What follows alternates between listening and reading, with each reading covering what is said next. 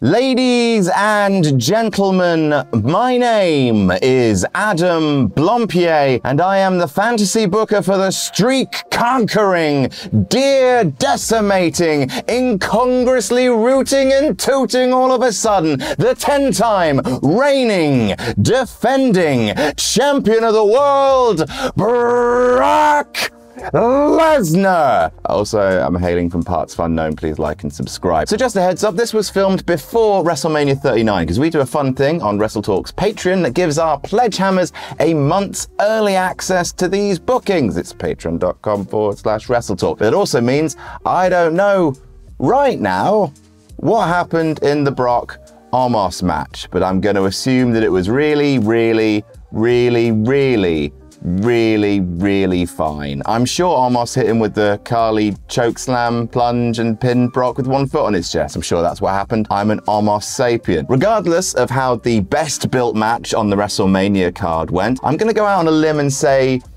it's probably not fitting to be Brock Lesnar's retirement match, which no one thought was actually coming until reports started coming out that Brock was saying his goodbyes to people backstage and was apparently finishing up with the company. Not, no, not this way, Brock. Not with, no, no, no. Now, a lot of you will be aware that Brock is one of my favorite wrestlers of all time, even during his bored Brock stage. I had a lot of time for him because he spent the last 10 years as WWE's premier novelty attraction and somehow managed to survive a series of really bad bits of booking and fighting Roman forever, and also him losing his first match back to John Cena, a man that they were going to build a storyline of, oh, my life's gone downhill since The Rock beat me, and that, but he still beat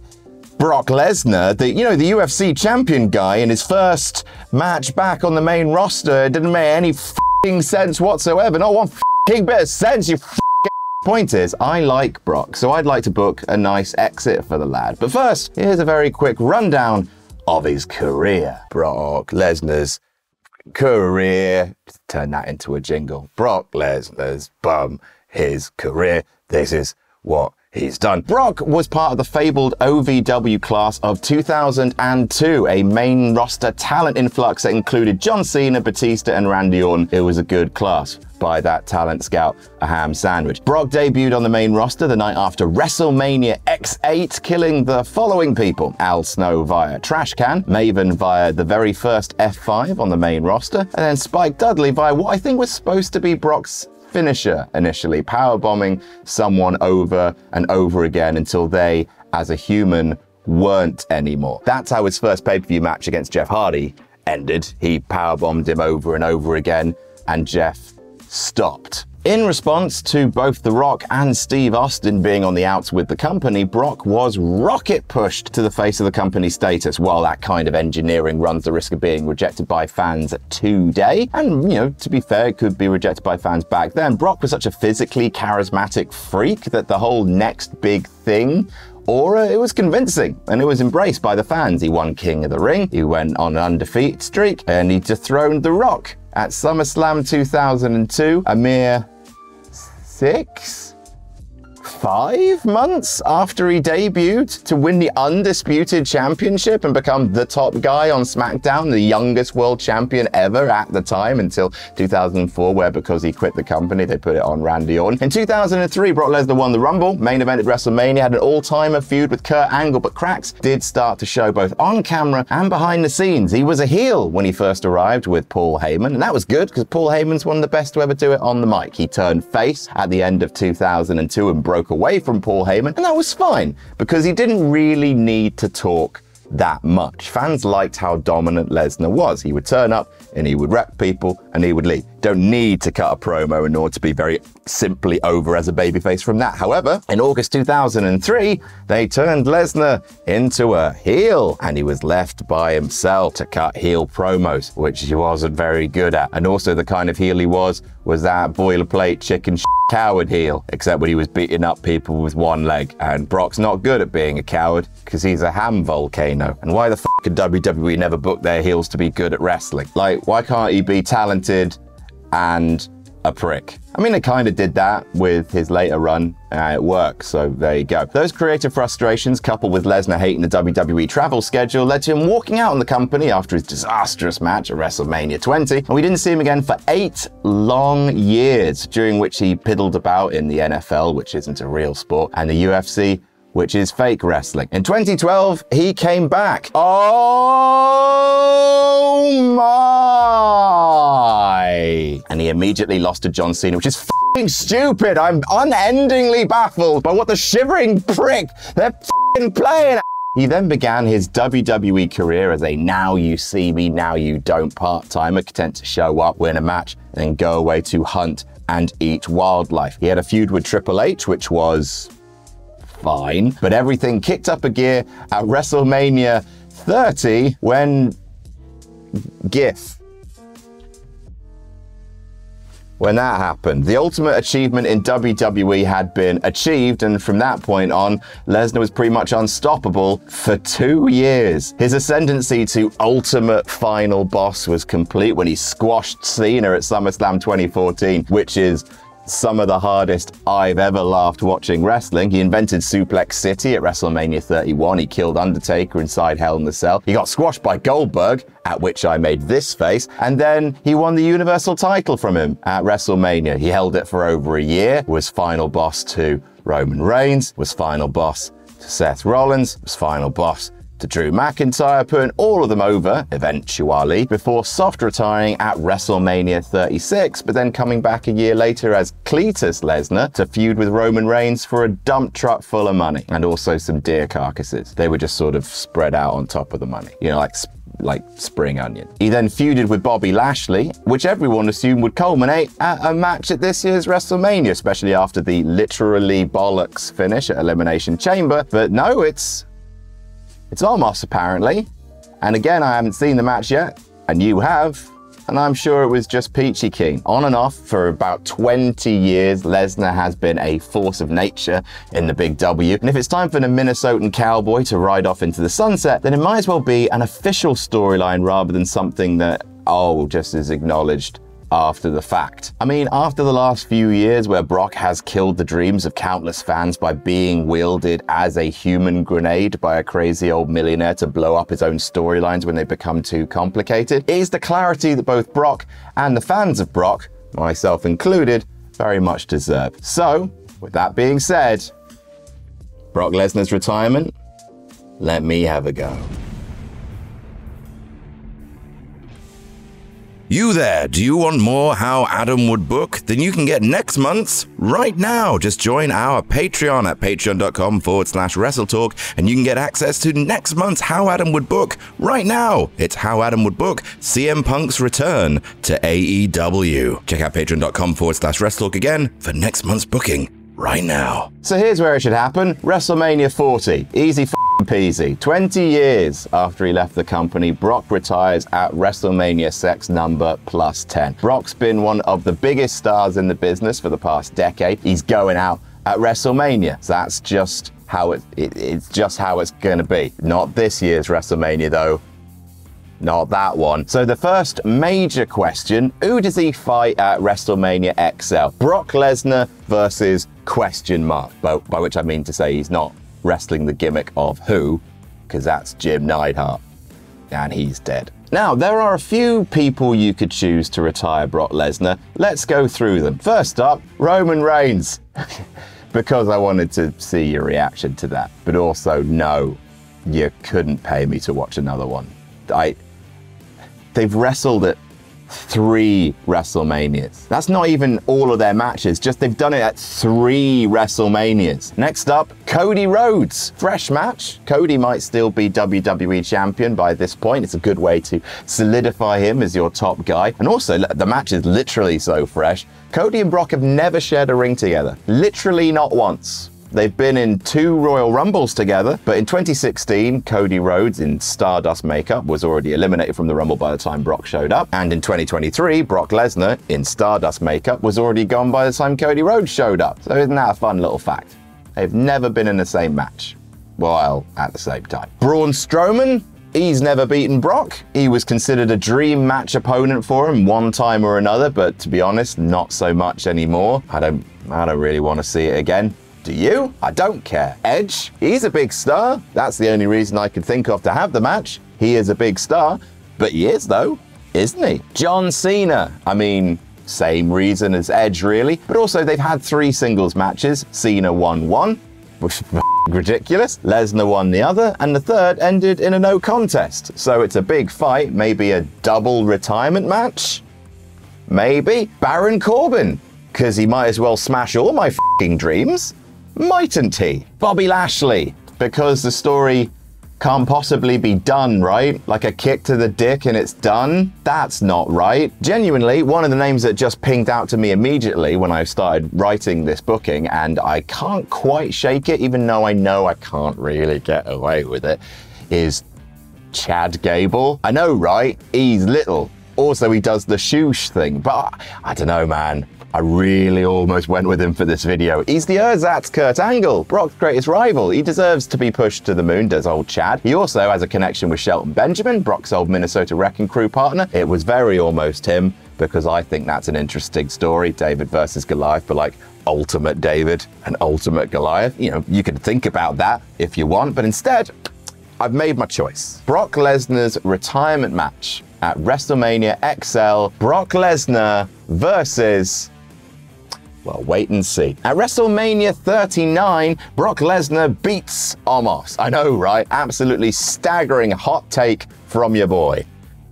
But there's a little more to it than that. We're basically continuing the story beats that WWE have already put in place, which is Brock's loss to Roman Reigns three times in a row and couldn't conclusively beat Bobby Lashley. This is what we have to work with. And even if right now it doesn't feel like WWE is actually engaging with those story beats, a waning Brock Lesnar, that's interesting. So, that being said, he should struggle to beat Omos, which, yes, is not ideal. Omos isn't as good at making his offense look as powerful and as painful as the story of his gianthood WWE are telling. It is a bit similar to the Great Khali in that respect. I don't like comparing Omos automatically to the Great Khali. I think that's lazy. But in this case, WWE is telling us that tall equals devastating power, but in actuality, his relatively slow lack of coordination and sort of wild swinging, his sort of lack of physical momentum actually makes a lot of his offense look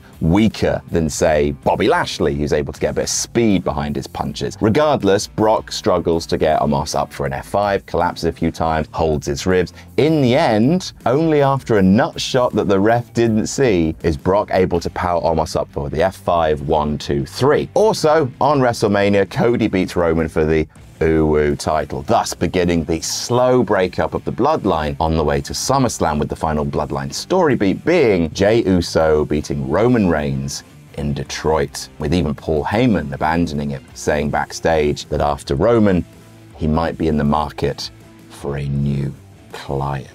Also leading into this SummerSlam in Detroit, Brock returns, returning to a tweenerish kind of state. Basically, he's more of a delusional heel than a straight babyface. He's sort of refusing to admit that he hasn't been able to win the big one without resorting to bollock-centric chicanery. He's confronted by Bobby Lashley, who's been like, I've been waiting rather patiently for you, Brock. This ain't over. Bobby runs through their entire feud. At Royal Rumble, Bobby beat Brock. Brock had to wait for Lashley to be carried out of the Elimination Chamber before he could win a WWE title. At Crown Jewel, Brock escaped with a fluke. At the Rumble, Bobby threw Brock out like a sack of shit. At the Chamber in 2023, Brock couldn't break the hurt lock, so resorted to the hurt cock. Bobby tells Brock to admit to himself and to all of these people that Brock's running scared. That back at WrestleMania 36, Drew McIntyre kicked the last remaining fight out of Brock Lesnar, and that's why you retired without telling anyone. Lashley challenges Brock one last time at SummerSlam, no holds barred. Brock agrees, saying if he can't beat Bobby Lashley, he'll retire from WWE forever. At SummerSlam, huge Hoss Fest, as befitting two huge Hosses. Once again, Bobby counters the F5 into the Hurt Lock. Brock can't escape from it, so he hoofs Bobby in the penis again, but Bobby just shakes his head. He guts through it, keeps the hurt lock in. Lesnar just goes for it again and again and again, and Bobby just screams and keeps the hold locked in. Lesnar looks like he's going to pass out, but he stands up and he throws both him and Lashley over the top rope. Lashley keeps the hold locked in. Lesnar throws both him and Lashley through the announce table. Lashley keeps the hold locked in. But suddenly, someone jumps the guardrail and Lashley is maced in the face by someone wearing a black balaclava under a black hoodie, who then escapes through the crowd. As Lashley clutches his burning eyes, Lesnar picks up a steel chair and absolutely wears it out on Bobby. F5, Brock Lesnar pins Bobby Lashley at SummerSlam. Now, the next night on Raw, Lesnar calls out Paul Heyman. Whenever there's some screwy in Lesnar's life, it's always got something to do with Paul. And Paul denies all knowledge of the attack. It says to Brock, Look, when I said I was in the market for a new client, I wasn't talking about you. I wouldn't take you back at this point. You're one of my oldest friends, Brock. That much is true. And the mark of genuine friendship is the ability to dispense harsh truths. When I brought you into WWE, you were the next big thing. Now, says Paul, you're just an old stag that doesn't yet know it's already been shot. You're bleeding out, Brock. It's time to go home. Lesnar smiles, offers Paul a handshake, gives Paul Heyman a hug, and then gives Paul Heyman an F5. Going forward, Lesnar issues a challenge to the entire company. The next match he loses, he is quitting WWE for good, and the person who beats him can say they retired Brock Lesnar. All of you take a number because I'm going to kill each and every one of you. So it's very similar to Ric Flair's retirement. Next match you lose is your last. In that story, it was really effective because it cast Flair as a permanent underdog, fighting against the tide of time itself, scratching, clawing, splashing his way through each and every match until that match at WrestleMania 24. With Brock, though, it's a little different. Even if he struggled against Bobby Lashley, Lesnar's never exactly going to be an underdog. He can still put on a few dream matches on his way out of the company. He can still leap off a tractor. So he's not an, he's not an old guy. He can still go. So retiring him is marketed as this huge accolade. Retire the man who broke the streak. Retire one of the greatest of all time. And genuinely, to some of the wrestlers backstage, this is more of a big deal than the world title. And from now on until WrestleMania, we run a series of major Brock Lesnar matches, each one marketed with the fact that if this person beats Brock, it will be his last match. A little extra spice on every card. There are guys killing each other backstage for the right to fight Brock. There are tournaments, battle royales, all this hoopla to determine the slim few who get to fight Brock and potentially be the guy to say they ended his career. This also has a profound effect on Brock. Long story short, he starts to develop his craft for the first time in forever in a desperate attempt to prove to himself more to prove to himself more than anyone that he's still got what it takes. Maybe he begins to fall in love with professional wrestling again. And there's lots of footage of him training training like he's never trained before. So, first major card is Clash at the Castle. Lesnar versus McIntyre to Electric Droogaloo. I really like Electric Droogaloo. I put. I, Oh, I like it. After retiring him to abject silence at the Performance Center WrestleMania, Drew actually gets a chance to do it on the big stage in front of a deservingly sized crowd. Drew gets him with a claymore, but Brock manages to get one hand on the ropes for a rope break. And when was the last time, commentary asks, that you need to see Brock Lesnar resort to a rope break. The ref is pushed out of the ring. Drew goes for a claymore, but Brock throws an elbow up and smacks Drew in the bowels. F5 pin. Brock escapes by the skin of his teeth and he's scared. He needs to head back to the gym. At Crown Jewel, we have Brock Lesnar versus Edge, a match that hasn't featured at a major WWE show since Rebellion in 2002, and then that was only a UK show. Over 20 years later, and both guys are still wrestling. Gosh, that's silly. For this match, we start to see Brock's work pay off. He's more agile, the match goes longer than expected, and it's not just straight to signature moves. We're starting to get Brock sort of retreating back to 2012, when he first came back, 2013, when he had that awesome match against Punk, not just Suplex City, he's gonna have to do more. Brock is able to leapfrog a spear at one point, and Brock is actually able to win clean for once because he's putting in the work. Next up at Survivor Series, we have a something of a sleeper tradition, which is Brock Lesnar wrestling a much smaller guy in an ostensibly David versus Goliath squash that actually goes much longer than people think and ends up being the best match on the card. 2017, he wrestled AJ Styles. In 2018, Daniel Bryan in my favorite match, by the way, which I also paused writing this booking to rewatch again. It's marvelous. In 2019, Rey Mysterio. So at Survivor Series 2023, we get Brock Lesnar versus Chad Gable. Now, look, if you start now, you can book Chad Gable consistently enough that he could be a legit contender for Brock Lesnar. You can do it. He's already one of the best wrestlers you've got. Just let him wrestle and win a couple of matches, guys. At Survivor Series 2002, Brock Lesnar suffered his first pinfall loss. 21 years later, it could happen again, especially because Brock Lesnar is completely underestimating Chad Gable. When they do a contract signing, the contract signing is mediated by Kurt Angle. Angle gives advice to both men. Look, I've wrestled Brock, Chad. And let me give you some fatherly advice. He's a killer, but you're quicker than him. And Brock just laughs. However, when he tries to German suplex Chad, Gable just flips through, lands on his feet before tangling Brock's feet, catching him in a pinfall situation, and Kurt rushes to the mat. One, two, three. Chad rolls out the ring and say, that is how easy it can happen. Brock versus Gable, and it's really enjoyably even. All right, Gable is out wrestling Brock. He is a younger, quicker, incredibly tech. He's a he's an Olympically technically proficient grappler. So Brock has to step it up and start layering in that amateur style that brought him to the dance in the first place. Brock returning to his technical prowess because the power game he's relied on for so long somehow doesn't seem to be working against Chad Gable, who's able to slip out of all of his throws. Gable is doing well when the figure in the black balaclava returns. He slides out from under the ring, trips Gable just one time time before escaping through the crowd, and that's enough for Lesnar to hit that F5. Something that Chad Gable's been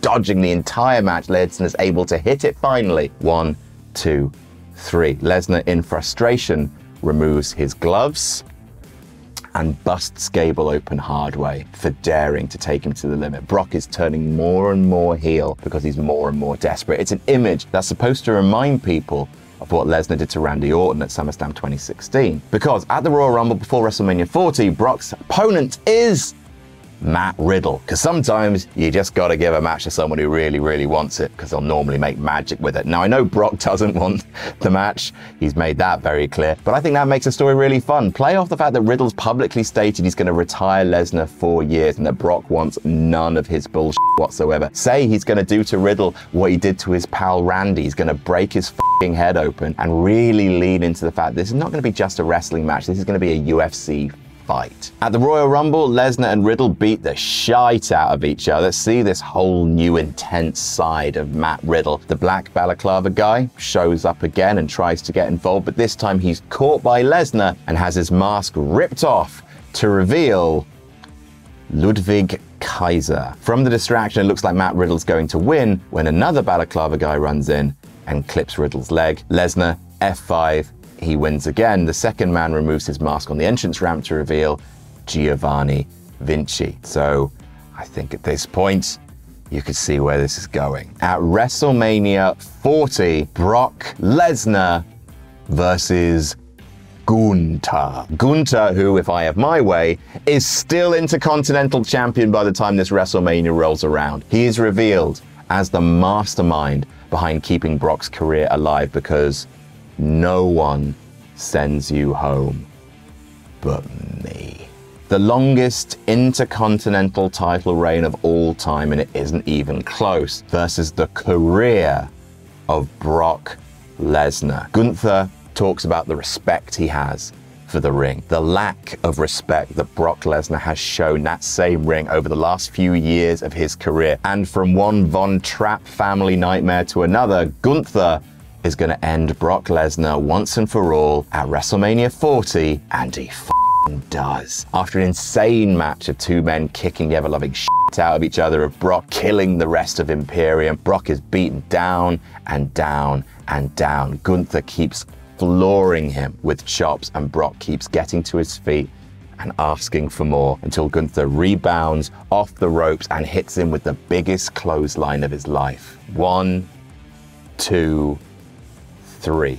Ten years after ending the streak, Brock Lesnar is retired. After the match, Paul Heyman walks down to the ring and helps Brock to his feet. Walks out with him just as he walked in with Brock into the company all those years ago. And one year later, Paul Heyman inducts Brock into the WWE Hall of Fame. It's a huge accolade for Gunther. He becomes essentially the new final boss. He should immediately win the championship at SummerSlam or even sooner, maybe even on the very next pay per view. Like once he's retired, Brock Lesnar, you whack the belt on him and you keep it there for a year.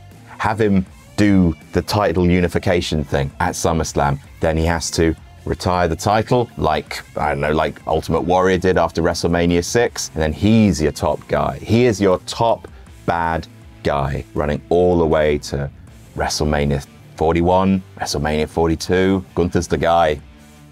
Like, he's the fucking guy. And that is who I think should retire Brock Lesnar. Who do you think should retire him? Let me know in the comments. And also make sure you head over to patreon.com forward slash WrestleTalk because we're doing these a month in advance for our pledge hammers. It's very, very nice and jab, not jab, jab, not jam.